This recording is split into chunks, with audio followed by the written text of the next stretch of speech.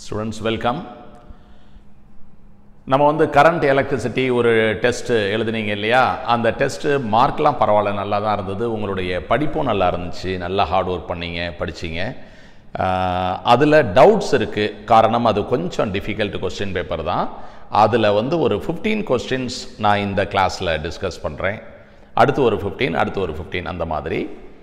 இது நம்ம during the டே வந்து நமக்கு ஃபுல்லாக கிளாஸஸ் இருக்குது டைட்டாக இருக்குது கெமிஸ்ட்ரி கிளாஸஸ் போட வேண்டியது இருக்குது அதனால் இந்த டவுட் கிளாரிஃபிகேஷன் அப்படிங்கிறத நைட்டு ஸ்டடி டைமில் ஒரு ஒன் ஹவர் டியூரேஷனுக்கு இந்த கிளாஸஸை நீங்கள் பார்க்குற மாதிரி பிளான் பண்ணியிருக்கேன் அதை பார்த்துக்கோங்க. நோட்ஸ் எடுத்துக்கோங்க. இந்த இந்த கணக்குகளில் சிலது நீங்கள் கரெக்டாக போட்டிருப்பீங்க. அதனால தான் நல்லா மார்க் வாங்கியிருக்கீங்க. அதை நான் எப்படி போடுறேன்? பார்த்துக்கோங்க.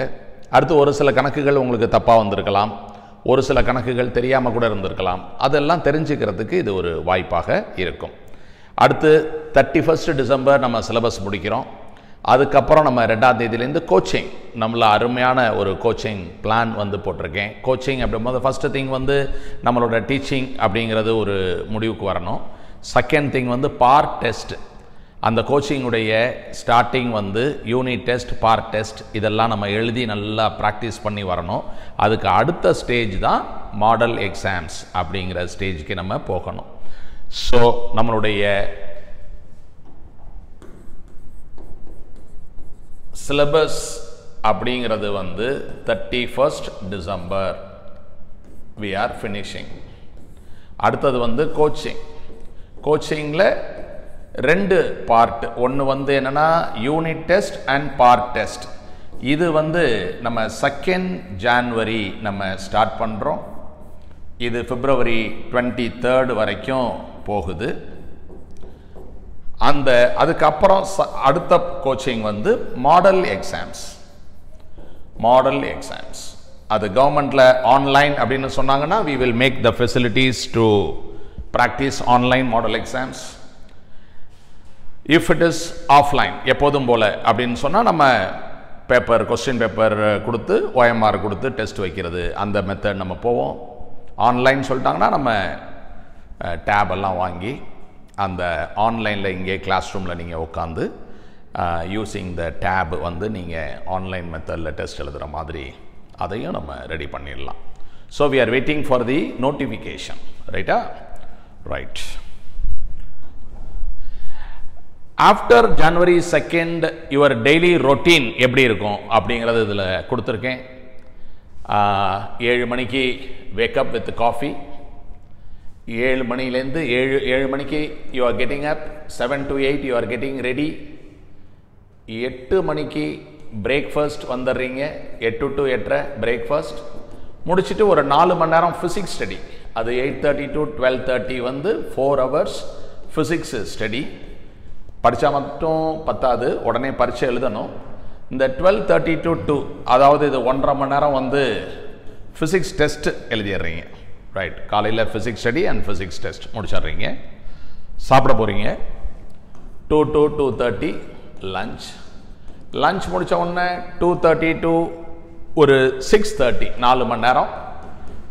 கெமிஸ்ட்ரி இது வந்து கெமிஸ்ட்ரி ஸ்டடி நல்லா படிக்கிறீங்க. கெமிஸ்ட்ரி அதே மாதிரி தான் படித்தா பட்டா பத்தாது. டெஸ்ட் எழுதணும். Chemistry test எழுதிடுறீங்க. Six thirty to seven thirty chemistry test முடிச்சுட்டு டின்னர் ஓகே சாப்பாடு போடுறீங்க. அதுக்கப்புறம் எட்டுலேருந்து பன்னெண்டு. அதுவும் அதே மாதிரி ஃபோர் ஹவர்ஸ் வந்து பயாலஜி ஸ்டடி பயாலஜி ஸ்டடி வந்துடுது அதுக்கப்புறம் அதில் test எழுதணும்ல. Biology test twelve to twelve thirty biology test அதை முடிச்சிடுறீங்க. தென் நீங்கள் தூங்க போகிறீங்க ஒரு அரை மணி நேரம் ஆகிடும் போய் படுத்து தூங்குறது ஆரம்பிக்கிறதுக்கு one to seven you will have sleep இது வந்து ஒரு சிக்ஸ் ஹவர்ஸ் டீப் ஸ்லீப் நீங்கள் தூங்கிடுறீங்க. Then next day it starts like this okay புரியுதா?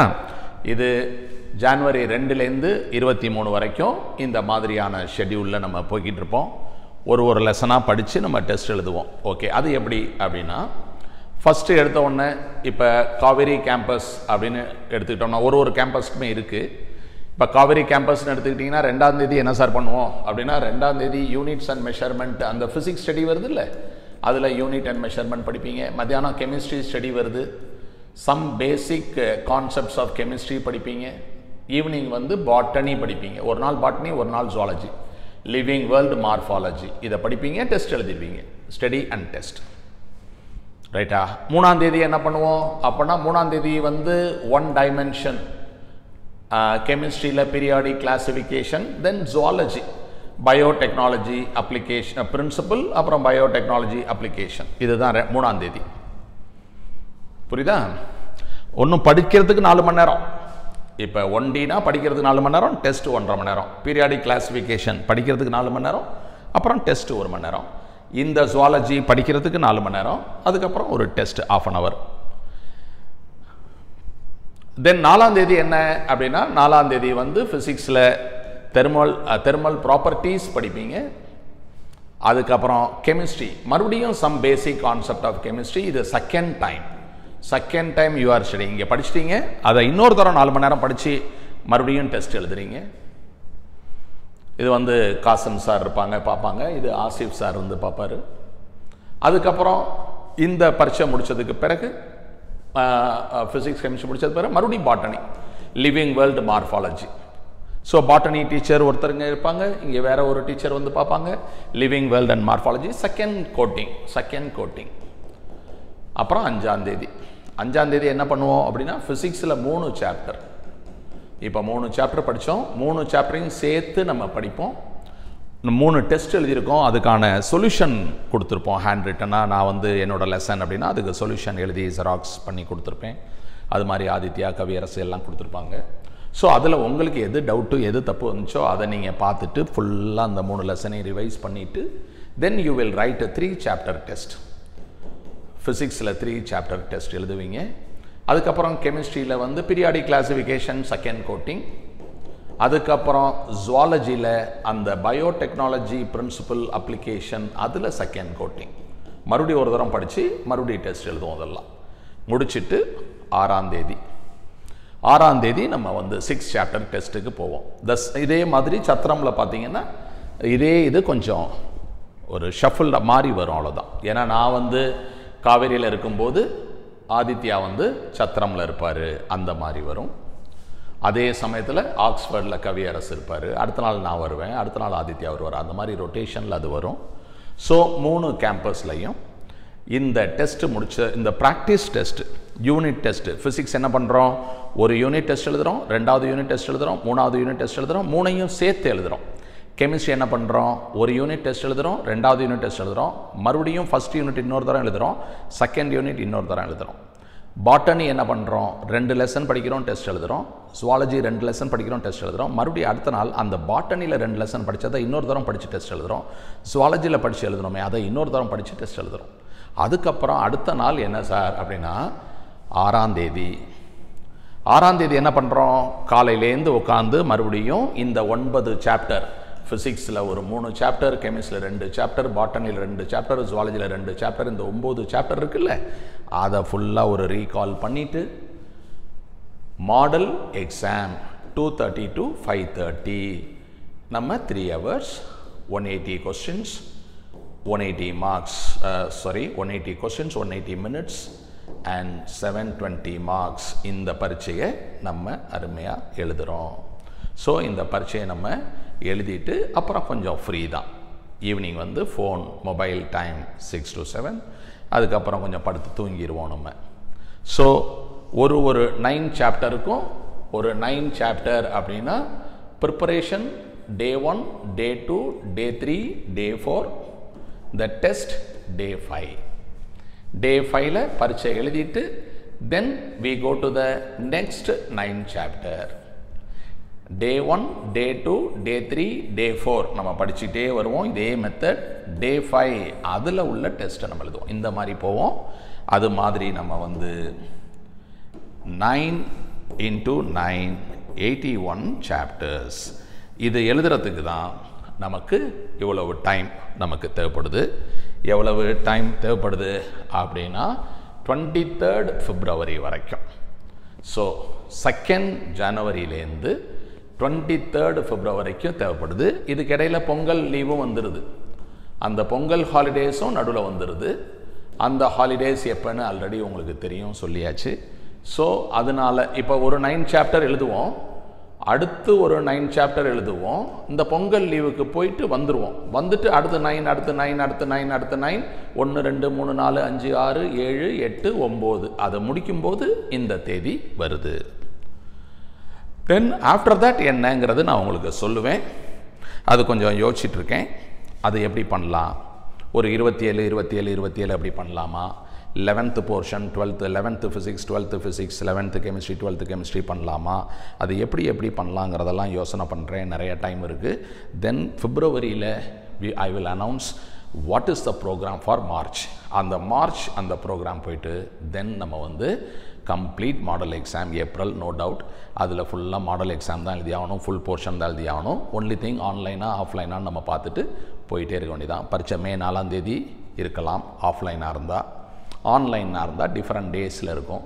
அது ஒரு வாரம் பத்து நாளைக்கு நடக்கும். ஒவ்வொருத்தருக்கும் ஒரு ஒரு பேட்சில் அலாட் ஆகும். அது எப்படி வருதுன்றதை நம்ம பார்த்துக்கலாம். ஓகேயா ரைட்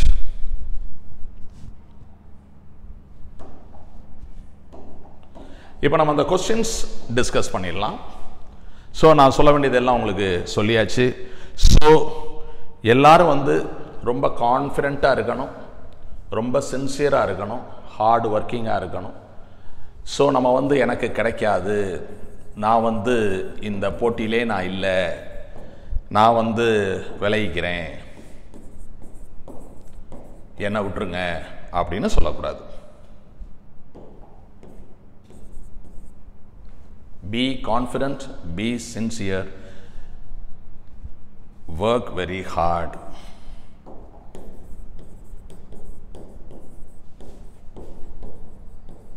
So கரெக்டாக பண்ணீங்கன்னா success is yours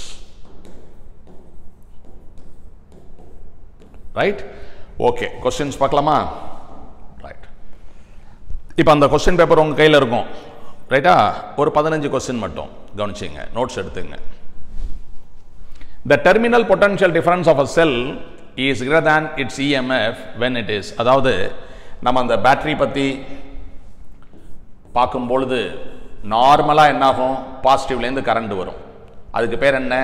டிஸ்சார்ஜிங் அப்போ என்ன condition EMF is greater than potential என்ன formula E is equal to V plus IR ஃபோனை எடுத்து நம்ம பேசுகிறது இதுதான் எப்போதும் பண்ணிக்கிட்டு இருக்கோம். ஃபோனை சார்ஜில் போடுறது. அது பண்ணுவோம். தேவைப்படும் போது பண்ணுவோம்.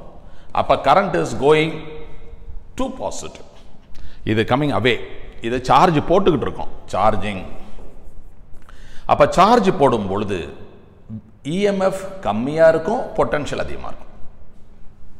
அதுக்கு ஃபார்முலா எழுதும்போது E is equal to V minus IR அப்படி சொல்லணும். V is equal to E plus IR அப்படின்னு சொல்லணும். இது டியூரிங் சார்ஜிங் ஏற்கனவே தியரி கிளாஸில் சொல்லியிருப்பேன். எழுதிக்கங்க. இந்த கேள்வியில் எப்போ potential greater than EMF potential greater than EMF எப்போ வரும்? சார்ஜிங் எழுதிக்கலாம்.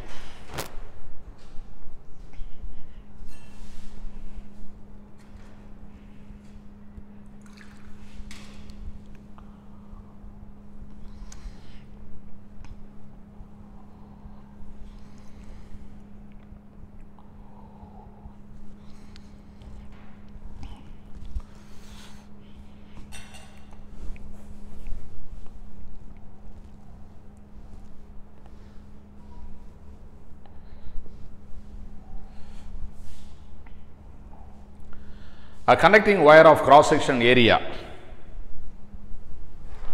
Cross section area.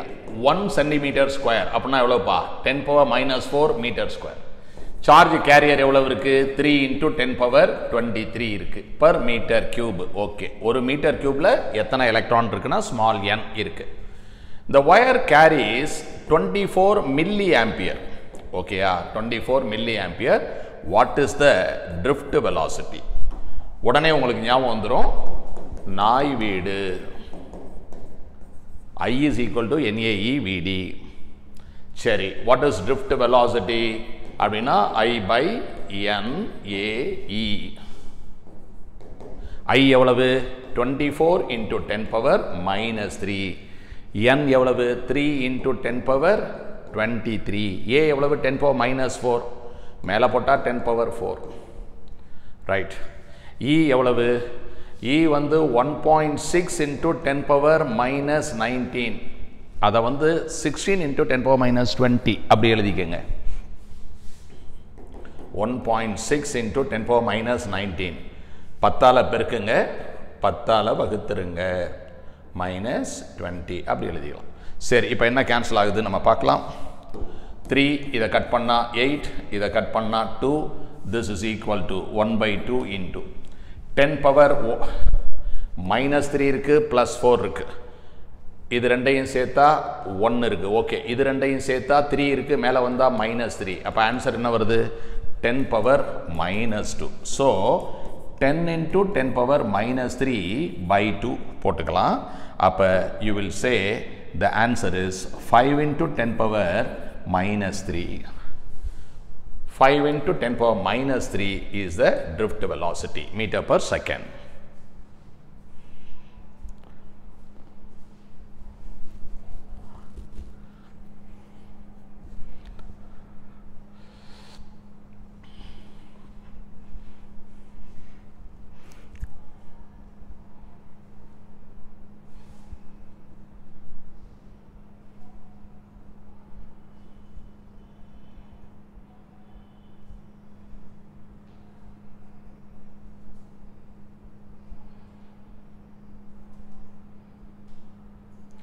So எல்லாம் எழுதிக்கலாம்.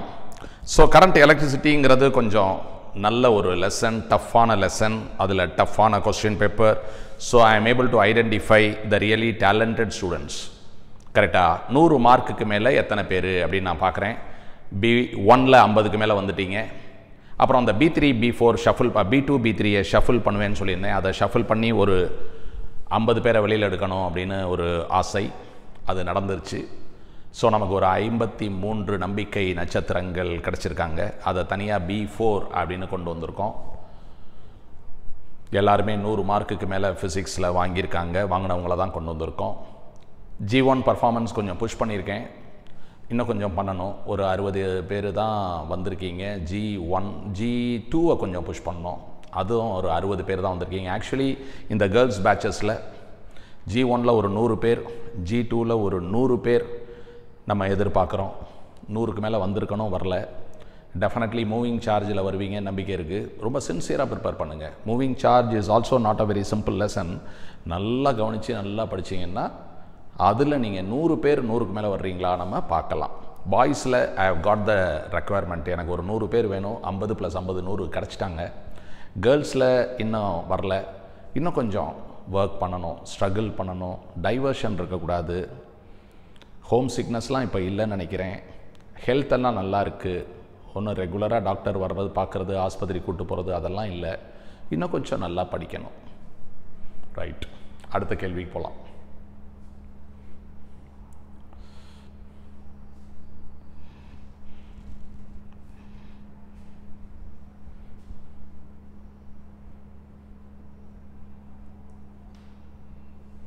ஓகே அடுத்ததுக்கு போகிறேன் நான்.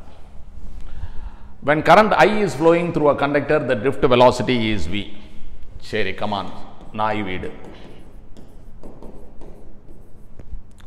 current I is flowing the drift velocity is v if the value of the current in the conductor and the area of the sec- cross section is doubled then what is the drift velocity கரண்ட்டை மாற்று ஏரியாவை மாற்று drift velocity என்னாகும் சொல்லு. Okay I dash is equal to n into A dash into e into v dash I dash என்ன? Current is doubled cross section area is doubled then what will happen to v dash இப்போ இந்த two two cancel ஆயிடுச்சுங்க அப்போ என்ன ஆகுதுங்க இதே தான் I is equal to n A e v dash அப்போ நமக்கே புரியுது. V dash is equal to v otherwise இதை டிவைட் பண்ணி பார்த்துக்கணும். டிவைட் பண்ணால் ஆட்டோமேட்டிக்காக v dash by v is one அப்படின்னு வந்துடும் v dash is we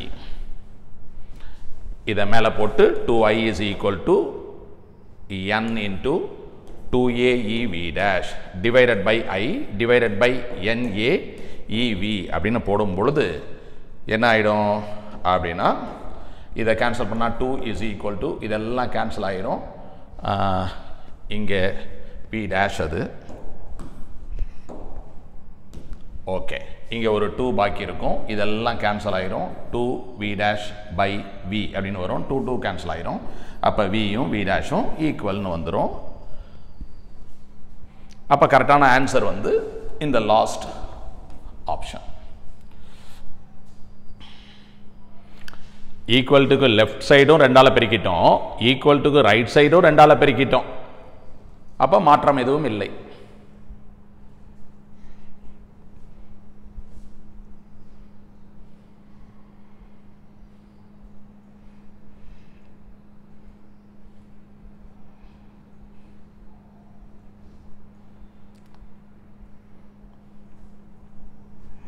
okay அடுத்த.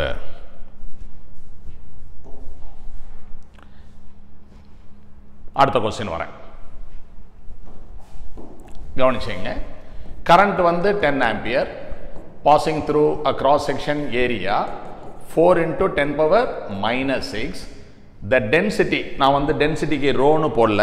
ரோங்கிறது ரெசிஸ்டிவிட்டிக்காக ஒதுக்கியிருக்கேன்.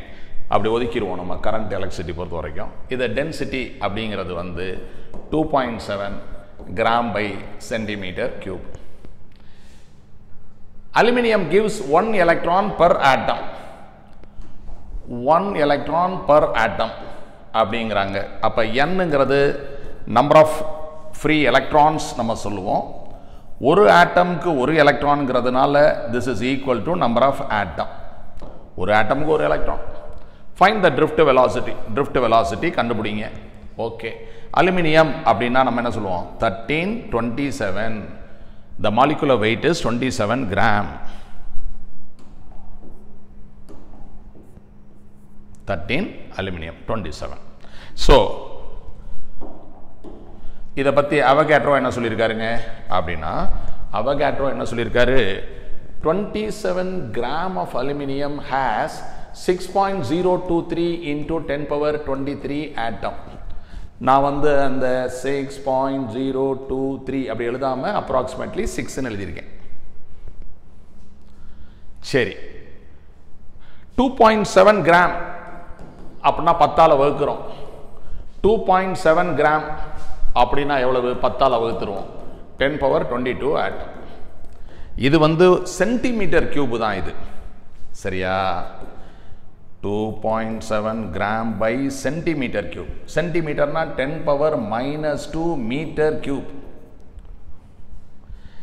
இப்போ டென் பவர் மைனஸ் டூனா மைனஸ் சிக்ஸ் மேலே போனால் plus six two point seven into ten power plus six gram by metre cube gram by metre cube நான் வந்து number of free electrons per metre cube எனக்கு வேணும். Per metre cube அப்போ நான் என்ன பண்ணணும்? Two point seven into ten power six கிராமில் எவ்வளவு இருக்குதுன்னு பார்க்கணும். அப்போ இந்த பக்கமும் டென் பவர் சிக்ஸால் மல்டிப்ளை பண்ண வேண்டியது இருக்குது அந்த பக்கமும் டென் பவர் சிக்ஸால் மல்டிப்ளை பண்ண வேண்டியது இருக்குது அப்போ ஒரு centimetre க்யூப்பில் six into ten power twenty two atom இருக்குது one metre க்யூப்பில் six into ten power twenty eight atoms இருக்குது ஒரு ஆட்டத்துக்கு ஒரு எலக்ட்ரான் அப்போ number of free electrons per metre cube அப்படின்னா எவ்வளவு? Six into ten power twenty eight electrons per metre cube இது வரைக்கும் எழுதிக்கலாமே.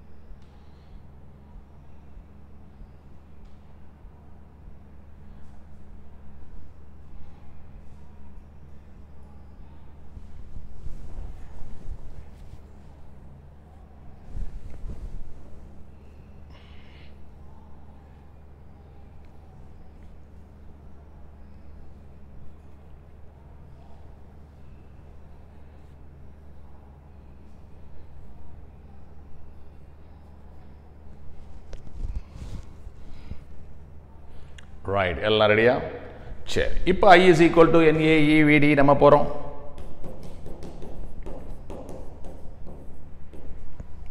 நமக்கு கேள்வி என்ன? ட்ரிஃப்ட் வெலாசிட்டி ட்ரிஃப்ட் வெலாசிட்டி என்ன? I is divided by n A e I தெரியுமா? டென் ஆம்பியர் ஏ தெரியும். என் கண்டுபிடிச்சிருக்கோம். இ தெரியும். அப்போ சப்ஸ்டிடியூட் அண்ட் சிம்பிளிஃபை போடுங்க எல்லாரும்.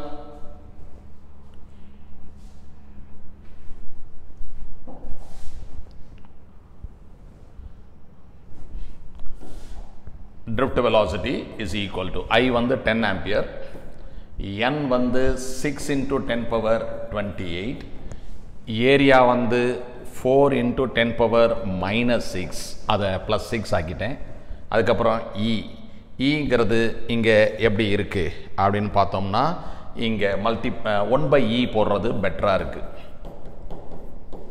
அதாவது ஈனா one point six into ten power minus nineteen டினாமினேட்டில் எழுதுறதா இருந்தால் sixteen into ten power minus டுவெண்ட்டின்னு எழுதுவேன்.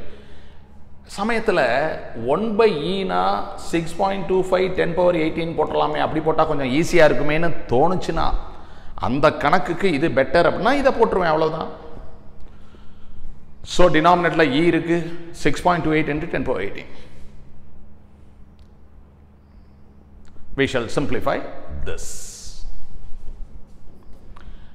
இது வந்து பத்தால் பெருக்கிக்கிறேன். சிக்ஸ்டி டூ பாயிண்ட் எயிட் இது வந்து டுவெண்ட்டி ஃபோர் இன்டூ அது வேண்டாம் எல்லா டென் பவரையும் ஒரே பக்கம் எடுத்துகிட்டு போயிடுவோம் டென்னோட பவர் என்ன இருக்குது அப்படின்னா இங்கே சிக்ஸ் இருக்குது பக்கத்தில் எயிட்டீன் இருக்குது கீழே டுவெண்ட்டி எயிட் இருக்குது சிக்ஸு எயிட்டீன் இந்த டுவெண்ட்டி எயிட் மேலே வருது. மைனஸ் டுவெண்ட்டி எயிட் அப்போ இதில் ஒரு மைனஸ் பத்து வருது. போச்சு. மைனஸ் நாலு. Okay into ten power minus four அப்படி இருக்குது this is equal to simple இது. அப்போ ட்ரிஃப்ட் வெலாசிட்டி சிக்ஸ்டி டூ கீழே டுவெண்ட்டி ஃபோர் ஒரு ஆறால் டிவைட் பண்ணோம்னா ஒன் ஒன் ஜீரோ ஆறு நாலு இருபத்தி நாலு கீழே வந்து four into ten power minus four இது final answer final answer ten point four by four அப்படின்னா ஒரு two point six ten power minus four okay எழுதிக்கலாம்.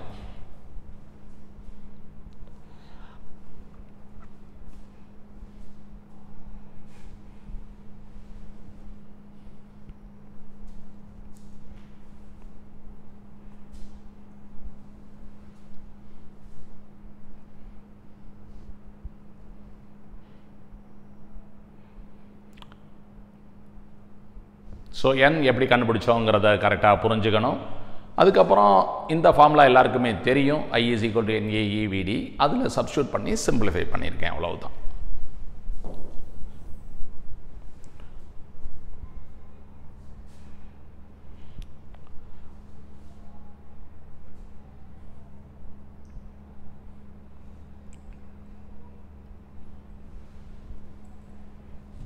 okay two point six ten power minus four அப்படிங்கிறது மூணாவது ஆப்ஷனில் இருக்குது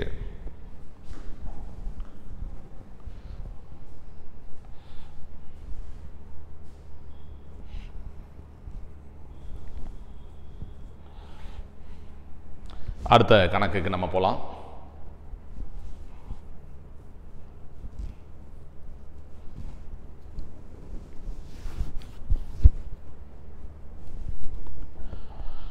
right இப்போ இதில் என்ன கொடுத்துருக்காங்க அப்படின்னா ஃபோர் ரெசிஸ்டன்ஸ் ஆர் கனெக்டட் ஆமாம் connected the electrical current through four ohm four ஓமில் எவ்வளவு போகுது? அண்டு சிக்ஸ் ஓமில் எவ்வளவு போகுது? ஓகேப்பா ஃபோர் ஃபோர் பேரலில் இருக்குது அப்போ மொத்தமாக எவ்வளவு இருக்குன்னா டூ சிக்ஸ் சிக்ஸ் பேரலில் இருக்குது மொத்தமாக எவ்வளவு இருக்குன்னா த்ரீ இங்கே என்ன இருக்குது டுவெண்ட்டி இப்போ இது எவ்வளவு இருக்குது five ஆர்எஸ்னால் R one plus R two five அப்போ ஒரே ஒரு ரெசிஸ்டன்ஸ் போட்டிங்கன்னா எவ்வளவு? ஃபைவ் இது டுவெண்ட்டி அப்போ கரண்ட் எவ்வளவு? அப்படின்னா I is equal to V by R which is equal to four ampere பேட்டரியிலேருந்து புறப்பட்டு வர்றது ஃபோர் ஆம்பியர் ஃபோர் ஆம்பியர் வருது ரெண்டு பாதை இருக்குது ரெண்டு பாதையும் ஐடென்டிக்கலாக இருக்குது அப்போ இதில் ஒரு டூ ஆம்பியர் போகும் இதில் ஒரு டூ ஆம்பியர் போகும். இங்கே ஃபோர் ஆம்பியர் வருது. மறுபடியும் இந்த ரோடு ரெண்டாக பிரியுது. நிறைய வண்டி வருது ரோடு ரெண்டாக பிரியுது. எந்த ரோடு நல்லா இருக்குது அப்படின்னா ரெண்டும் ஒரே மாதிரி தான் இருக்குது அப்போ இதில் டூ ஆம்பியர் இதில் டூ ஆம்பியர் பிரியுது. அப்போ current in four ampere is two current in six ampere is two the correct answer is fourth option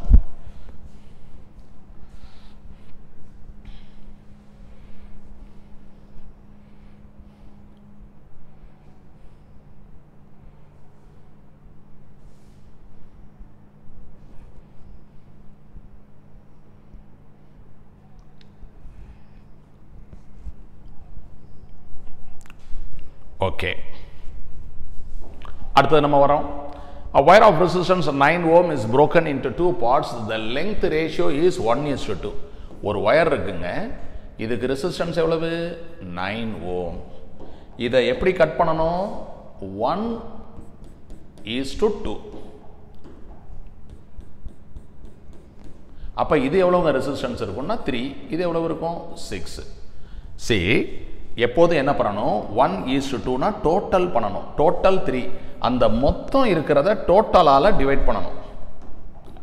மொத்தம் இருக்கிறத அந்த total one is to two அப்படின்னா ஒன் ப்ளஸ் டூவால் டிவைட் பண்ணணும். டிவைட் பண்ணால் nine by three that is equal to three இதுதான் first one மீதி என்ன இருக்கோ அது second one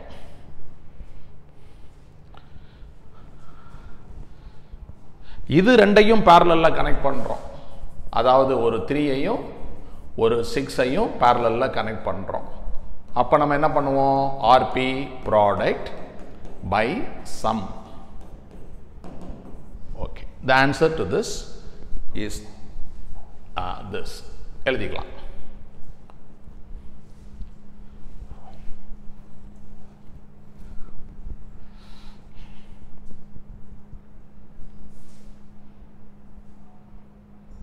Resistance is directly proportional to length length வந்து one is to three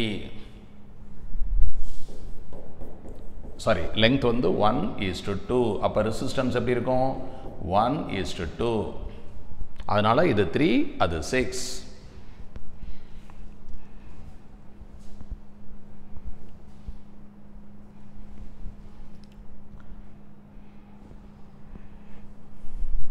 okay ஆறு கணக்கு முடிச்சிட்டோம் we are going to question seven படிச்சு பாருங்க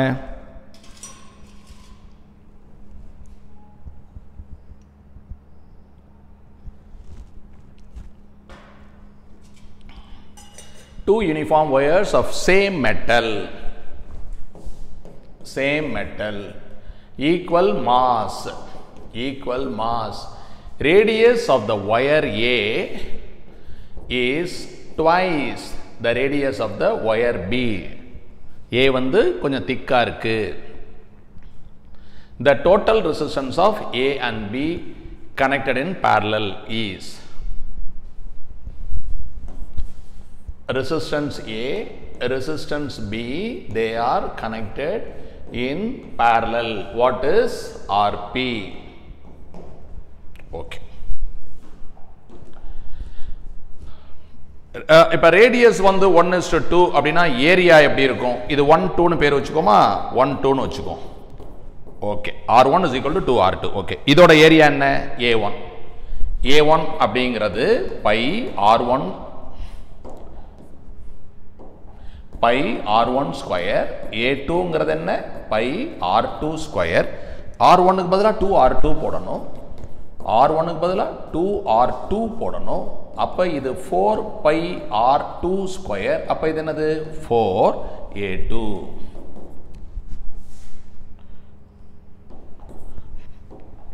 அப்போ A one equal to four A two R one is two R டூனா அப்படியே square பண்ணணும். அவ்வளோதான் A one is equal to four A two mass வந்து சேமாக இருக்கு.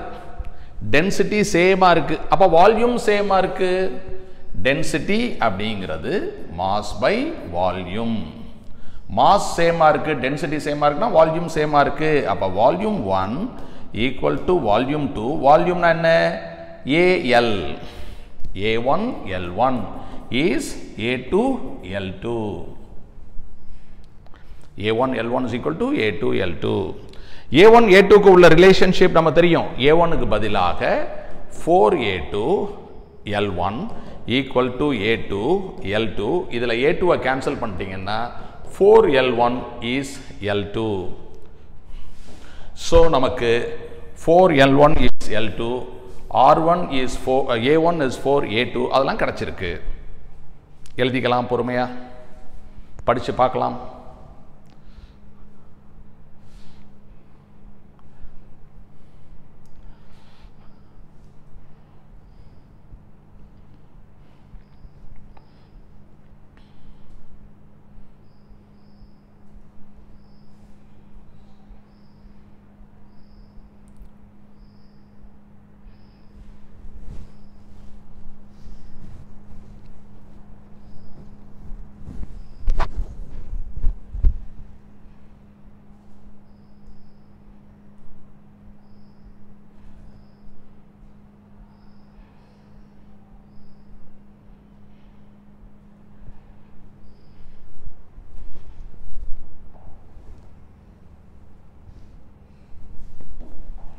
இந்த ரெண்டு ரிலேஷன்ஷிப் நம்ம கண்டுபிடிச்சிருக்கோம். சரிப்பா. ஆர்ஏ அப்படிங்கிறது என்னது? Rho L one by A one okay R B ரெண்டாவது wire rho same metal okay L two by A two okay L டூக்கு என்ன பண்ணும்? Four L one okay A டூக்கு என்ன பண்ணும்? A one by four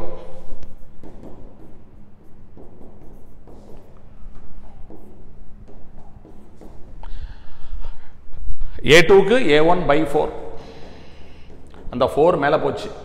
sixteen RA அப்போ ஆர்ஏங்கிறது rho L one by L one rho L one by A one ஆர்பிங்கிறது sixteen RA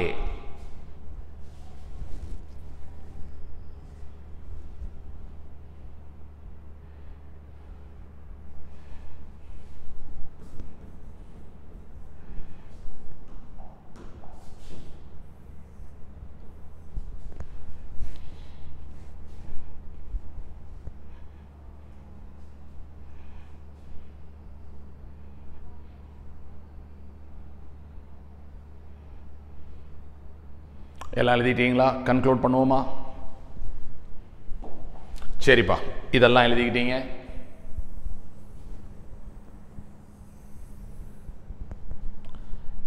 இப்போ இது ரெண்டையும் பேரலில் போடுறீங்க. அப்போ ஆர்பி எவ்வளவு? அப்படின்னா product product by some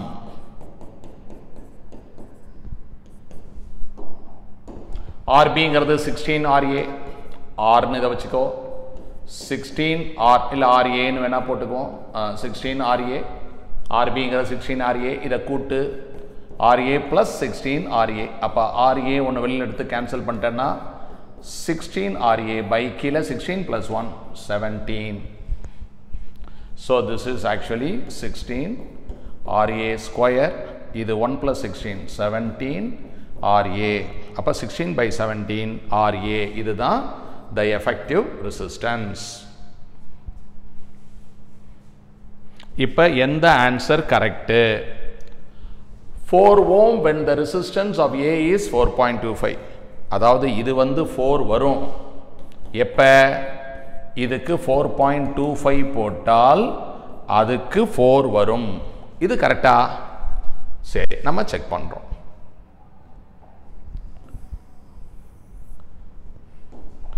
sixteen into அதாவது sixteen into four plus one by four இது வந்து four plus one by four that is equal to sixty four plus four that is sixty eight the numerator is sixty eight கீழே seventeen seventeen into two வந்து thirty four இது கரெக்டாக four வருது. அப்போ இந்த condition கரெக்டாக இருக்குது அதனால இந்த ஆன்சர் கரெக்டாக இருக்குது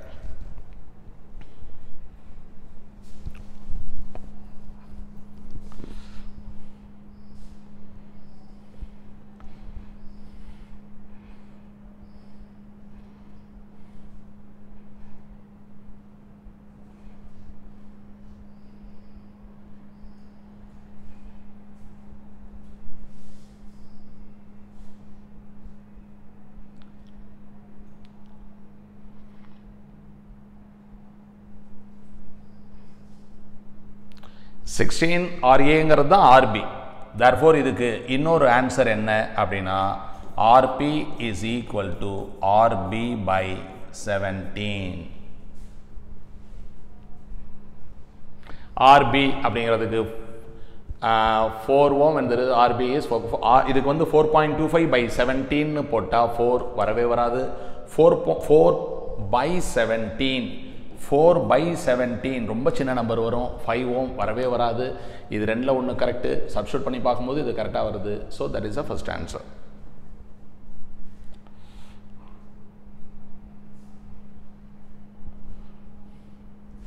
okay ஏழு கொஸ்டின் முடிச்சிருக்கோம். So let's go equivalent resistance between A and B will be A இங்கே இருக்குது பி இங்கே இருக்குது இது ரெண்டுக்கும் நடுவில் என்ன ரெசிஸ்டன்ஸ் இருக்குது ஏ பி ரெண்டு கிரௌண்டில் என்ன ரெசிஸ்டன்ஸ் இது ஒரு பாதை. இந்த பாதையில் போனால் த்ரீ ப்ளஸ் த்ரீ சிக்ஸ் இருக்குது ஓகே இது இன்னொரு பாதை. போகும்போது ஒரு த்ரீ வருது. இங்கே த்ரீ ப்ளஸ் த்ரீ புரியுதுங்களா? Three plus three series six இதில் ஒரு த்ரீ ப்ளஸ் த்ரீ சிக்ஸ் அப்புறம் ஒரு த்ரீ அப்படி வரும். ஒரு பாதை வந்து சிக்ஸு இன்னொரு பாதை இப்படி இருக்கு. சிக்ஸு சிக்ஸு பேரலல்னா த்ரீ அப்போ இது three three three nine so இங்கே சிக்ஸ் நம்ம பிக்கு போயிட்டோம். அப்போ பேரலில் நைனும் சிக்ஸ் இருக்குது ப்ராடக்ட் பை சம் இது த்ரீயால் இதை கட் பண்ணுமா? த்ரீயால் கட் பண்ணால் five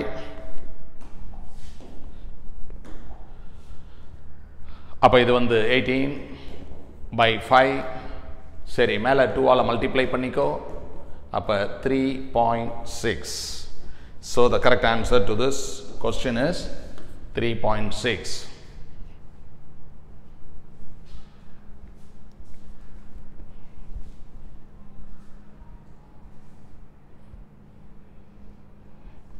okay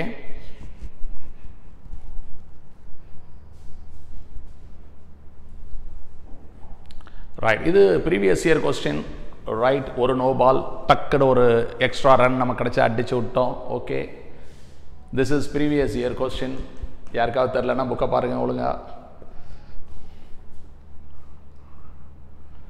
so we going to the next one right an ammeter and voltmeter of resistance R R connected in series. இது conceptually திஸ் இஸ் ராங் இப்படிலாம் பண்ணவே கூடாதுங்கிறது மூவிங் சார்ஜ் படிக்கும்போது உங்களுக்கு வந்து புரியும். ஸோ அந்த கொஸ்டின் எழுதினவரை கொஞ்சம் மன்னிச்சுட்டு அந்த கணக்கை நம்ம போடுவோம். Ammeter voltmeter connected in series அதெல்லாம் வேண்டாம். Something is connected with something okay ஒரு resistance R one another resistance R two R connected in series ஒரு செல் இருக்குது அது negligible internal resistance internal resistance இல்லை.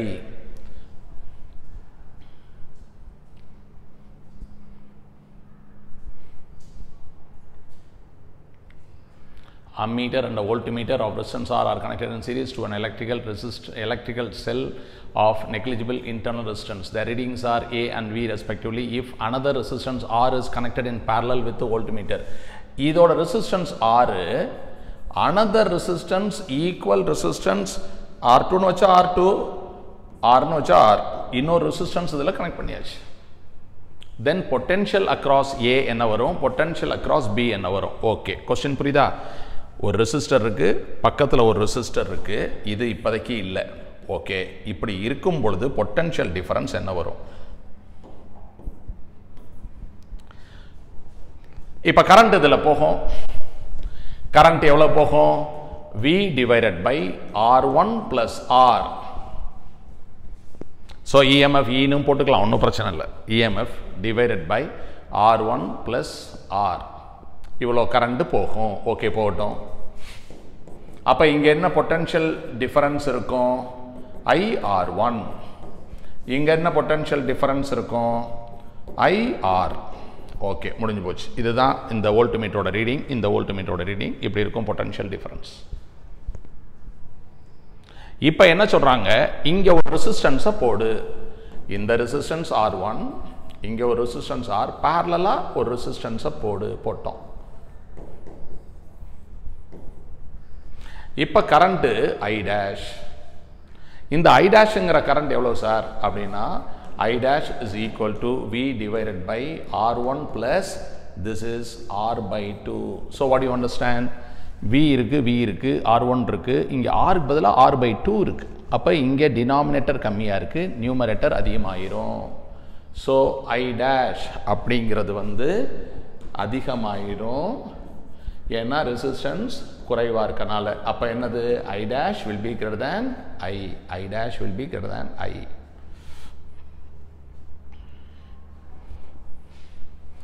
I dash will be greater than I இங்கே வந்து V one plus V two equal to V இங்கே V one dash plus V two dash is equal to V same battery தான். இந்த we one dash எவ்வளவுங்க? அப்படின்னா இந்த V one dash is equal to I dash R one me, இது என்னது I R one இது எவ்வளவு? I dash R one I டேஷ்ங்கிறது விட பெருசு? எஸ் அப்போ ஐ டேஷ் ஆர் ஒன் எதை விட பெருசு? I R1 விட பெருசு. V one dash will be than than V one V one dash will be greater than V one அப்போ அம்மீட்டரில் வரக்கூடிய அம்மீட்டர் அதாவது the readings are A and V if another resistance R is connected parallel with the voltmeter then potential across both A and இவங்க வந்து ammeter reading voltmeter reading பற்றி கேட்கல potential பற்றி தான் கேட்டிருக்காங்க. Okay potential across the ammeter எவ்வளவு இருக்கு? அதிகமாகிறது. அப்போ ஏ வில் இன்க்ரீஸ் இது கரெக்டாக இருக்கலாம். போத் வில் இன்க்ரீஸ் இது கரெக்டாக இருக்கலாம். Let us go to the next step okay சரி. இந்த இது எவ்வளவு சார்? இது என்னது? வி டூ டேஷ் எவ்வளவு அப்படின்னா இது ஒரு ஃபோர் இது ஒரு சிக்ஸ் இது ஒரு டென் இருக்கலாம். இந்த ஃபோர் அதிகமாகுது. ஃபோர் அதிகமாகி சிக்ஸுக்கு போச்சுன்னா இந்த டென் டென் தான். அப்போ இது அதிகமாகும் போது இது ஃபோர்னு குறையணும் இல்லையா? அப்போ வி ஒன் இன்க்ரீஸ் ஆகிறதுனால வி டூ எப்படி இருக்கணும்? வி டூ ஷுட் டிக்ரீஸ் அப்போ தான் டோட்டல் சேமாக இருக்க முடியும். அப்போ போத் இன்க்ரீஸ் வராது. A will increase V will decrease தான் வரும். இந்த கீ வந்து தப்பாக இருந்தது. ஓகே இதுக்காக புதுசாக ஒரு ஸ்கோர் கார்டு போட வேண்டியதில்லை. பட் இப்போ நல்லா புரிஞ்சுக்கிறேங்க கரெக்டான ஆன்சர் ஆப்ஷன் ஃபோர் நம்ம எந்த புக்கிலேருந்து கொஸ்டின் எடுத்தோமோ அதில் கொஸ்டினும் கொஞ்சம் தப்பாகவும் ஆன்சரும் தப்பாகவும் இருந்தது. அது நீங்கள் பார்க்கலையா சார் அப்படின்னு கேட்டிங்கன்னா பார்க்கல. ஏன்னா நான் என்ன சொல்கிறேன் நம்ம ஸ்டாஃப்கிட்ட நம்ம டைப்பிஸ்ட்டு அவங்கள்ட்ட என்ன சொல்கிறேன் என்னத்தையாவது அடிச்சு விடு. பசங்களுக்கு தெரியுதா பார்ப்போம். அப்படின்னு சொல்லி ஒரு புத்தகத்தை கொடுத்துட்றேன். ஏன்னா I don't want to select இவங்க எதை டைப் பண்ணாலும் அது உனக்கு தெரியுதா?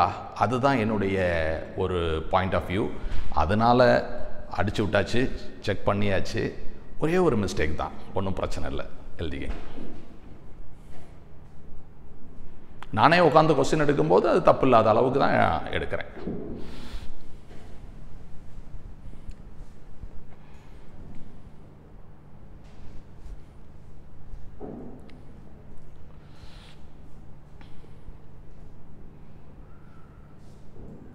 ஓகே. எல்லாம் காப்பி பண்ணிக்கிட்டீங்களா? எழுதிக்கிட்டீங்களா? சரி யாரும் எழுதலைன்னா நம்ம வார்டன்கிட்ட சொல்லி கொஞ்சம் வெயிட் பண்ண சொன்னீங்கன்னா வெயிட் பண்ணுவாங்க. எழுதி முடிச்சிட்டிங்கன்னா அடுத்ததுக்கு வருவாங்க. Fine the equivalent resistance across A B ஏக்கும் பிக்கும் நடுவில் என்ன ரெசிஸ்டன்ஸ் இருக்குது இப்போ இந்த பாயிண்ட்டுக்கு பேர் இப்போ ஒரு படம் போட்டே காமிச்சிட்றேன். இது ஏ இங்கே வரோம் இங்கே போகிறோம் இப்படி வரோம் இப்படி வரோம். இதான் படம் அப்படி இருக்குது இங்கே ஒரு டூ ஓம் வருது இங்கே ஒரு டூ ஓம் வருது. இது வந்து பி இங்கேருந்து இப்படி வரீங்க வரீங்க இங்கே போகிறீங்க இங்கே வரீங்க. ஓகே இங்கே ஒரு சாரி சாரி சாரி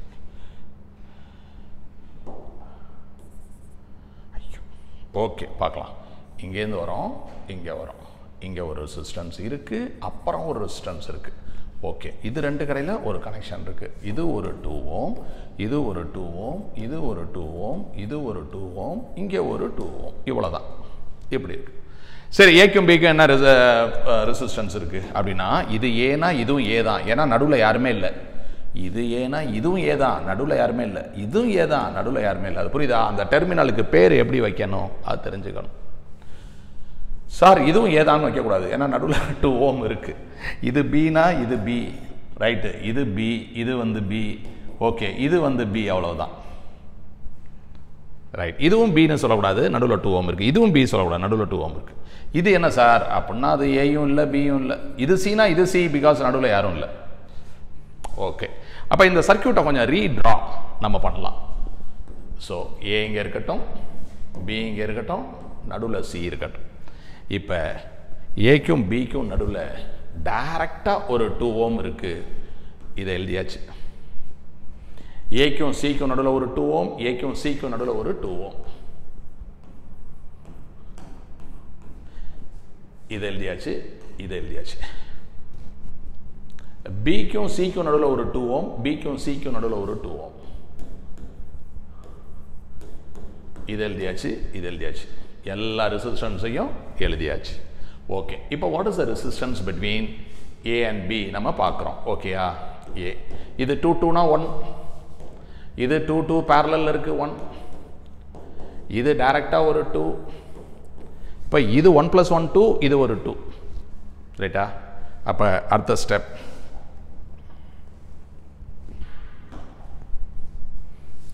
ஏ இருக்குது இங்கே ஒன் ப்ளஸ் ஒன் டூ இருக்குது இங்கே ஒரு டூ இருக்குது இங்கே பி இருக்குது இது டூ டூ பேரலில் இருக்குது ஒன் அப்போ ஏக்கும் பிக்கும் நடுவில் அல்டிமேட்டாக எவ்வளவு தான் இருக்குது அப்படின்னா ஒன் இருக்குது so the answer to this question is one okay எழுதிக்கலாம்.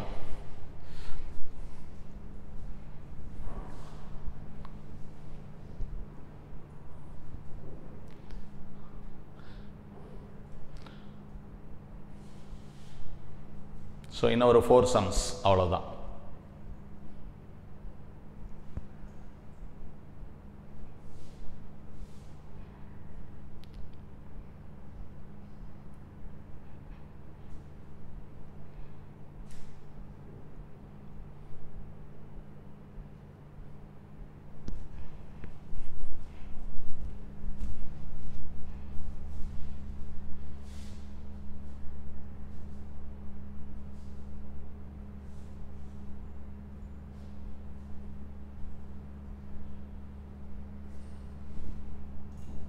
அடுத்த கேள்வி. ஓகே இதில் என்ன கேட்டிருக்கானா கரண்ட் த்ரூ எக்ஸ் ஒய் இந்த பாதையில் எவ்வளவு கரண்ட்டு போகுது? தெரியல. எக்ஸ் அதை கண்டுபிடிக்கணும். அப்போ கிறிஸ்டாப்ஸ் லா அப்ளை பண்ண பண்ண போகிறேன் அது எப்படி பண்ணலாம் கவனி? இப்போ வந்து ஃபிஃப்டி வோல்ட் இருக்குது ஓகேங்க. ஃபிஃப்டி வோல்ட்லேருந்து கரண்ட் வெளியில் வருது வந்துட்டு இங்கே போகுது இங்கே போகுது. அதுக்கப்புறம் இந்த எக்ஸ் ஒய் அதில் வருது தென் கரண்ட்டு இங்கே இங்கே போய் தென் இதில் வந்து இங்கே வந்துடுது கரெக்டாக இருக்கா? ஸோ இது ஒன் ஓம் இது த்ரீ ஓம் இது ஃபோர் ஓம் இது டூ ஓம் இதில் ரெசிஸ்டன்ஸ் கிடையாது. இப்படி இருக்குது ஓகே இங்கேருந்து வெளியில் வரக்கூடிய கரண்ட் ஐ ரைட் ஓகே இதில் போகிற கரண்ட் ஐ ஒன் இதில் எவ்வளோ சார் போகுது? ஐ மைனஸ் ஐ ஒன் இங்கே வர்றது ஐ இதில் போகிறது ஐ ஒன் அப்போ இதில் எவ்வளோ போகிறது ஐ மைனஸ் ஐ ஒன் இங்கே யார் வரா? ஐ ஒன் இங்கே யார் போகிறா தெரியாது. எக்ஸ் இங்கே எவ்வளோ சார் போகுது அப்படின்னா ஐ ஒனில் எக்ஸ் போயிடுச்சா ஐ ஒன் மைனஸ் எக்ஸ் அது இங்கே வருது. இங்கே என்ன சார் வருது? அப்படின்னா ஐ மைனஸ் ஐ ஒன் அப்புறம் இந்த எக்ஸ் ப்ளஸ் எக்ஸ் வரும் ரைட்டா ஓகே இங்கே என்ன கரண்ட்டு வந்துக்கிட்டு இருக்கு அப்படின்னு பார்த்தீங்கன்னா ஐ ஒன் மைனஸ் எக்ஸ் வந்துட்டு இருக்கு இது ரெண்டும் ஆட் பண்ணணும் இங்கே. ஸோ இதில் என்ன பண்ணணும்? I minus I one plus X plus I one cancel ஆயிடுச்சு மைனஸ் எக்ஸ் கேன்சல் ஆயிடுச்சு ஐ வருது. எஸ் ஐ தான் வரணும். அது இங்கே போய் இங்கே போகுது. ஸோ இந்த சர்க்கியூட்டை வரைஞ்சிக்கிங்க. வரைஞ்சிட்டு நீங்கள் என்ன பண்ணுங்கள் Kirchhoff second law apply in this loop ஒரு ஈக்குவேஷன் எழுதுகிறோம் இந்த லூப் அப்ளை பண்ணுங்கள் ரெண்டு ஈக்குவேஷன் எழுதுகிறோம் அப்புறம் பெரிய பாதையில் ஒரு ரவுண்ட் அடிங்க. பெரிய பாதையில் ஒரு ரவுண்ட் அடிச்சுட்டே வாங்க. அதில் ஒரு ஈக்குவேஷன் எழுதுங்க. மூணு ஈக்குவேஷன் போதுமா? போதும். எத்தனை அன்னோன் இருக்குது ஐ இருக்குது ஐ ஒன் இருக்குது எக்ஸ் இருக்குது கண்டுபிடிச்சிடலாம். Start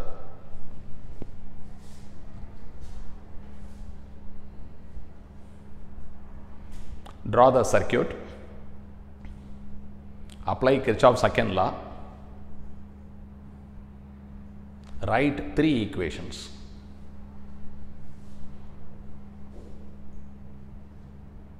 ஏற்கனவே பரீட்சையில் இந்த கணக்கை நீங்கள் கரெக்டாக போட்டிருந்தாலுமே இப்போ போடணும்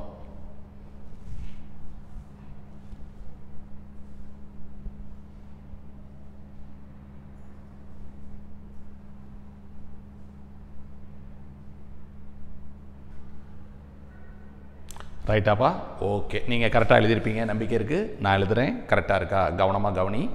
இந்த இதில் ஒரு ரவுண்ட் அடிக்கிற. எங்கேருந்து ஆரம்பிக்கலாம்? இங்கே ஆரம்பி. ஓகேப்பா இந்த இடத்துல ஆரம்பித்து வந்துட்டே இருக்க. Product of current and resistance one into I one அப்போ ஐ ஒன் இந்த ஆம் வந்துட்டு. இங்கே போகிற ரெசிஸ்டன்ஸே இல்லை. அப்போ ஜீரோ இன்ட்டு எக்ஸு ஜீரோ இங்கே வர. கரண்ட் ஆப்போசிட்டில் வருது. Minus three into I minus I one is இதில் ஏதாவது பேட்ரி இருக்கா? ஒன்றும் இல்லை. ஜீரோ அப்போ ஃபஸ்ட்டு ஈக்குவேஷன் என்ன சார் வருது? அப்படின்னா minus minus plus four I one equal to three I அப்படின்னு வருது. This is the first equation clear minus three I அந்த பக்கம் போட்டேன். Three I minus minus plus three I ஒன்னை இங்கே ஆட் பண்ணிட்டேன். ஃபோர் ஐ ஒன் ஓகே இதில் ஒரு ஈக்குவேஷன் எழுதியிருப்பீங்க. என்ன எழுதியிருக்கீங்க? இங்கேருந்து ஆரம்பிச்சு அப்படி வந்துட்டே இருக்கீங்க. Two into I one minus X இங்கே வரீங்க ஒன்றும் இல்லை. இங்கே வந்து ஆப்போசிட்டில் கரண்ட் வருது.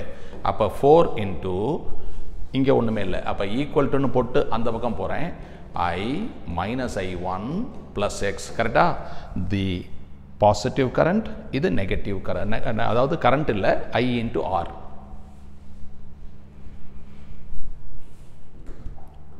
இல்லைன்னா நம்ம வந்து ஈக்குவல் டு ஜீரோ போட்டுட்டு அடுத்த ஸ்டெப்பில் எடுத்துகிட்டு போய்க்கலாம். I one R one minus I two R two equal to zero சரி இங்கே டூ இருக்குது ஃபோர் இருக்குது கேன்சல் பண்ணிக்கலாம். ஆப்போசிட் சைட் கொண்டு போய்க்கலாம். அப்போ ஐ ஒன் மைனஸ் எக்ஸ் இருக்குது two times I minus I one plus X வருது. கரெக்டாக இதை மல்டிப்ளை பண்ணலாமா? Two I minus two I one plus two X இது வந்து ஐ ஒன் மைனஸ் எக்ஸ் இப்போ எக்ஸ் அங்கே எடுத்துகிட்டு போயிடலாம். ஐ ஒன் இங்கே கொண்டு வரலாம். மைனஸ் டூ ஐ ஒன் இங்கே வந்துச்சுன்னா த்ரீ ஐ ஒன் இங்கே டூ ஐ இந்த மைனஸ் எக்ஸ் அங்கே போச்சுன்னா த்ரீ எக்ஸ் கரெக்டாக இருக்கா? த்ரீ எக்ஸ் இப்போ ஐக்கு பதிலாக என்ன போடணும்?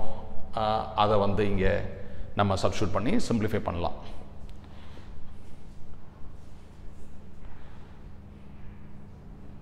இல்லை இப்போதைக்கு இது அப்படியே வச்சுக்கலாம். இது ஈக்குவேஷன் டூ இன்னொரு ஈக்குவேஷன் நம்ம எழுதலாம்.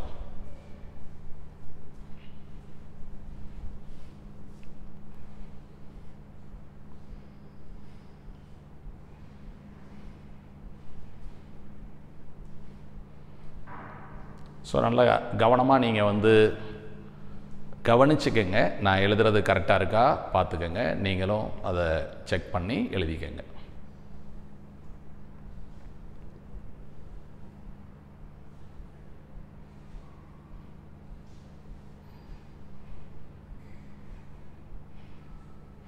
இன்னொரு ஈக்குவேஷன் என்ன பண்ண சொன்னேன்? இந்த பெரிய பாதையில் ஒரு ரவுண்ட் அடிக்க சொன்னேன்.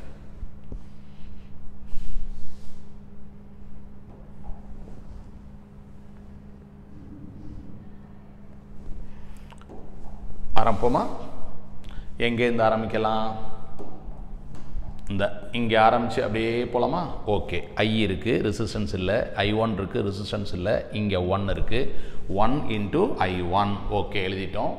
இங்கே வந்துட்டோம் இங்கே வரோம். டூ இருக்குது நம்ம கூடவே தான் கரண்ட் வருது. ஓகே இங்கே வந்துட்டோம். ரெசிஸ்டன்ஸ் இல்லை ரெசிஸ்டன்ஸ் இல்லை ரெசிஸ்டன்ஸ் இல்லை. முடிஞ்சே போச்சு. ஈக்குவல் டு பொட்டன்ஷியல் என்ன இருக்குது ஐம்பது வோல்ட்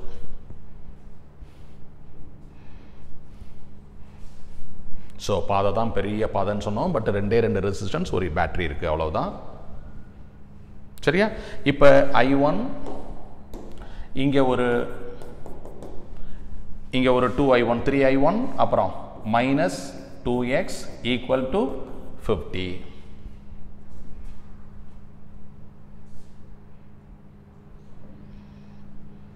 சரி.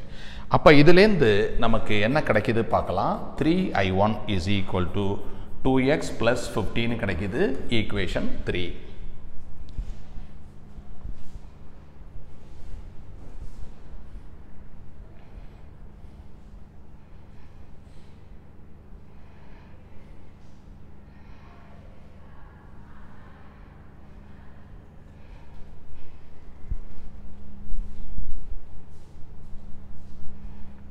சரி ஃபுல்லாகவே எக்ஸ் மட்டும் இருக்கிற மாதிரி ஒரு ஈக்குவேஷன் எழுதணும். ஏன்னா எக்ஸை தான் நம்ம கண்டுபிடிக்கணும். ஸோ இதில் எக்ஸ் மட்டும்தான் இருக்கா? இல்லை ஐ ஒன் இருக்குது அப்போ அந்த த்ரீ ஐ ஒனுக்கு பதிலாக இதை போட்டுக்கலாமா? போட்டுக்கலாம். ஆனால் போட்டால் ஐ வரும்.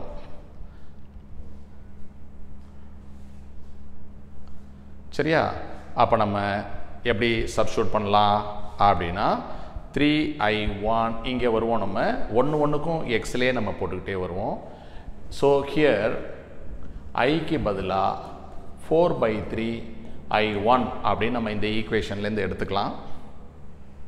அப்போ இந்த ஈக்குவேஷனுக்கு போகலாம் three I one is equal to two into four by three I one plus three X இதை அங்கே எடுத்துகிட்டு போகலாம் three I one minus eight by three I one equal to three X எல்லாத்தையும் த்ரீயால் மல்டிப்ளை பண்ணலாம். Nine I one eight I one nine X அப்போ I one is equal to nine x அப்படி வருது.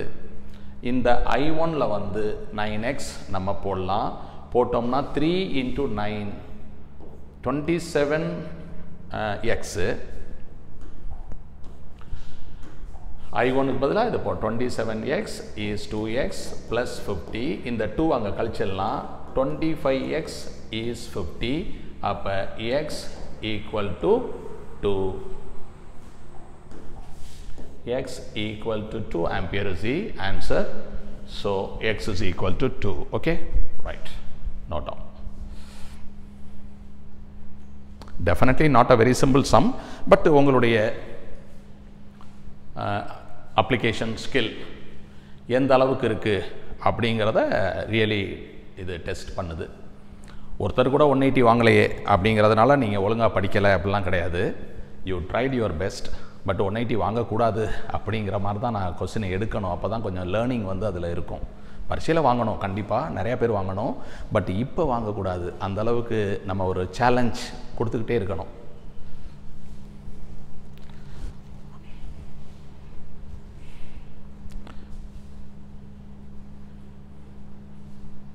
அவசியம் இந்த கணக்கெல்லாம் இன்னொரு தரம் நீங்கள் போட்டு பாருங்கள் இந்த மெத்தடை அப்படியே ஃபாலோ பண்ணுறதுக்கு இல்லை.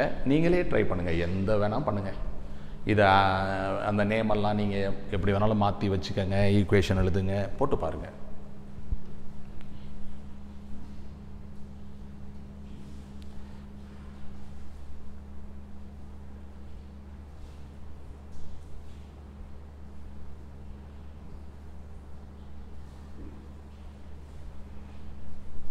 ஸோ என்னென்ன கிடச்சிருக்கு அப்படின்னு கொஞ்சம் ஜாலியாக நம்ம அனலைஸ் பண்ணலாமா? எக்ஸுக்கு டூ கிடச்சிருக்கு சார் ஓகே சார் எக்ஸுக்கு டூ கிடச்சிருக்கு. ஓகே ஐக்கு என்ன சார் ஐ ஒன்றுக்கு நைன் இன்ட்டு டூ எயிட்டீன் ஓகேங்க இது வந்து எயிட்டீன் எயிட்டீன் ஆம்பியர் வருது. இதில் டூ ஆம்பியர் போகுது. ஓகேங்க இங்கே இந்த எயிட்டீனில் டூ போச்சுன்னா இது வந்து இது வந்து சிக்ஸ்டீன் எயிட்டீன் வருது. இதில் இங்கே சிக்ஸ்டீன் இங்கே டூ இதில் எவ்வளோ போகுது? இதில் எவ்வளோ போகுது? அப்படின்னா ஐங்கிறது எவ்வளவு? ஐங்கிறது எவ்வளவுனா four by three I one that is four by three into I ஒன்ங்கிறது nine into two eighteen அப்போ எயிட்டீன் இதை கட் பண்ணிட்டீங்கன்னா சிக்ஸு அது ஆக்சுவலி டுவெண்ட்டி ஃபோர் தர்ஃபோர் பேட்ரிலேருந்து எவ்வளவு கரண்ட் வருது அப்படிங்கிறத கண்டுபிடிச்சிட்டோம். இது எவ்வளோ வருது? பேட்ரிலேருந்து டுவெண்ட்டி ஃபோர் ஆம்பியர் வருது. அதில் எயிட்டீன் இங்கே போகுது அப்போ இங்கே சிக்ஸ் போகுது. இந்த டூ இங்கே சேர்ந்துருச்சுன்னா எயிட் வருது. இந்த சிக்ஸ்டீன் அந்த எயிட் ஒன்றா சேர்ந்துருச்சுன்னா பழையபடி இங்கே அந்த டுவெண்ட்டி ஃபோர் வந்துடுது கரெக்டாக வந்துடுது ஓகேயா இது டுவெண்ட்டி ஃபோர் ஆம்பியர் இதில் சிக்ஸ் ஆம்பியர் இதில் எயிட்டீன் இதில் டூ சிக்ஸ் ப்ளஸ் டூ இதில் எயிட் இந்த டூ போயிட்டதுனால அங்கே sixteen sixteen plus eight twenty four பழையபடி.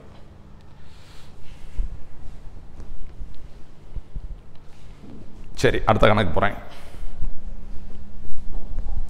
What is this oh no பால் நமக்கே நல்லா தெரிஞ்சது. ஆட்டம் லெசனில் படிச்சிருக்கோம். ப்ளஸ் நான் வந்து லெசன் நடத்தும்போது கூட இதை நான் சொல்லியிருந்தேன். ஓகே ஒரு ஹெச் ஒன் ஒன் ஆட்டமில் ஃபஸ்ட்டு ஆர்பிட்டில் எலக்ட்ரான் ரவுண்ட் அடிக்கும்போது எவ்வளவு கரண்ட் வரும்? சில பேர் உடனே one point one two milli ampere அப்படின்னு ஆன்சரை மனப்பாடமாக சொல்லிடுவீங்க குட் நல்ல மெமரி இருக்கணும் நமக்கு.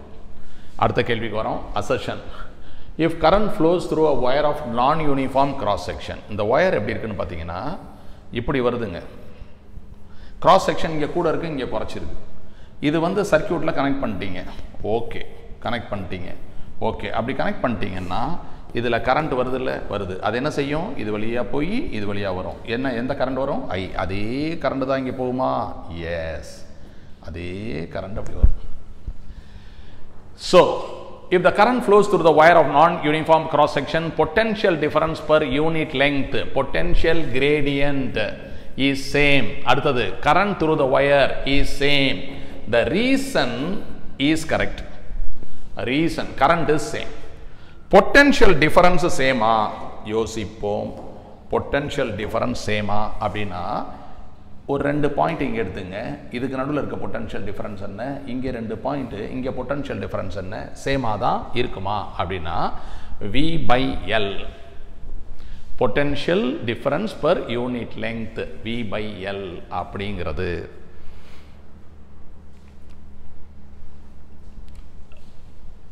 இங்கே ரெசிஸ்டன்ஸ் அப்படிங்கிறது பெரிய கிராஸ் செக்ஷன் இருக்கனால resistance inversely proportional to area இங்கே சின்ன கிராஸ் செக்ஷன் இருக்கு. இங்கே ரெசிஸ்டன்ஸ் அதிகம் இங்கே ரெசிஸ்டன்ஸ் கம்மி.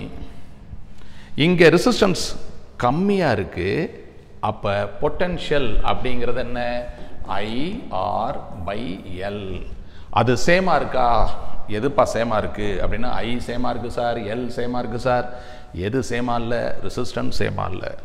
ஆரம்பத்தில் ரெசிஸ்டன்ஸு கம்மியாக இருக்கனால இந்த விபைஎல் கம்மியாக இருக்குது அப்புறம் போக போக போக விபைஎல் அதிகமாகுது. நீங்கள் யோசிச்சு பாருங்களேன் ஒரு ரோடு நல்ல அகலமாக இருக்குது நிறைய வண்டி வந்துட்டுருக்கு. ரோடு சின்னதாகுது. ரோடு சின்னதாகுது. அப்படின்னா அந்த வண்டி எல்லாம் அதுக்குள்ளே பூந்து அங்கே எல்லா வண்டியும் போய் தான் ஆகணும். உள்ளே வர்ற வண்டி வெளியில் போய் ஆகணும். கரண்ட் வந்து சேம் ஆனால் அந்த ரெசிஸ்டன்ஸ் அதிகமாக இருக்கும்ல. இந்த இடத்துல ஒரு பாட்டில் நெக் ஓ அந்த இடத்துல போகும்போது கொஞ்சம் லேட் ஆகும்ப்பா அப்படிமோல அந்த மாதிரி தான் அது போயிட்டுருக்கும். பொட்டன்ஷியல் வந்து எப்படி இருக்குது வித்தியாசமாக இருக்குது அதனால் நம்ம பொட்டென்ஷியல் கிரேடியன் சேம் அப்படின்னு சொன்னது தவறு. அப்போ அசஷன் தப்பாக இருக்குது ரீசன் கரெக்டாக இருக்குது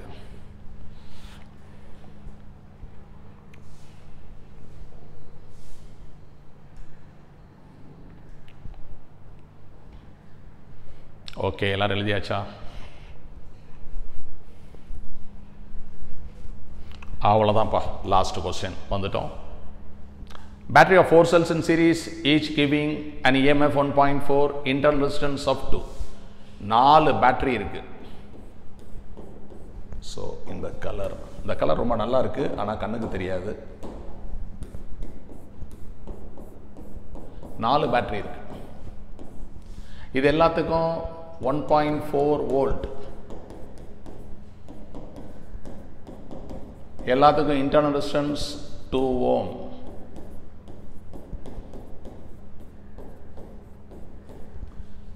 battery of four cells in series each having emf 1.4 internal resistance 2 ohm to be connected to a to charge a small 2 volt accumulator நம்ம என்ன பண்ணணும் ஒரு 2 வோல்ட் பேட்டரியை சார்ஜ் பண்ணணும் சார்ஜ் பண்ணணும்னா அதில் அதோடைய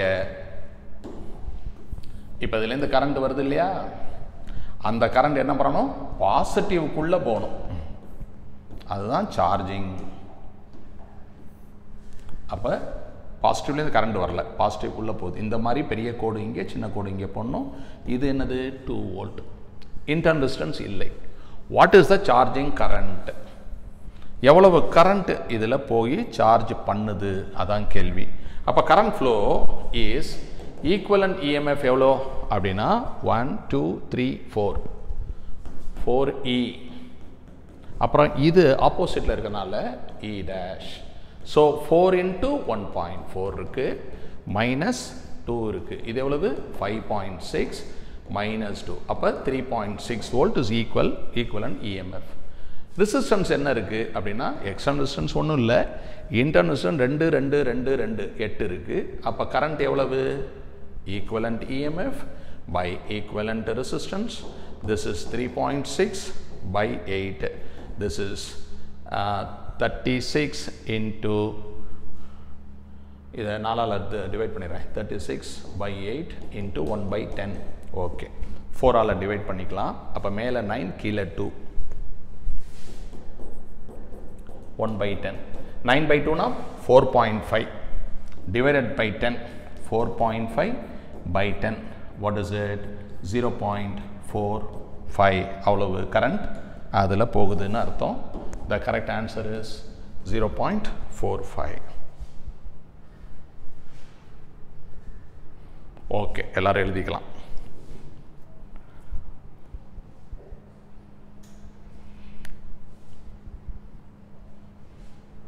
ஓகே ரைட் ஐ ஹோப் இந்த டிஸ்கஷன் வந்து உங்களுக்கு இன்னும் கொஞ்சம் நல்ல ஒரு ப்ராப்ளம் சால்விங் ஸ்கில்ல uh, கொடுத்துருக்கோம் நம்புகிறேன் அடுத்த கிளாஸில் நம்ம இது கன்டினியூ பண்ணலாம். மீன் வைல் டே டைமில் என்னுடைய கிளாஸ் மூவிங் சார்ஜ் அதை கவனிச்சிங்க ஒரு பத்து கிளாஸில் நம்ம மூவிங் சார்ஜ் லெசனை கம்ப்ளீட் பண்ணிடலாம். Thank you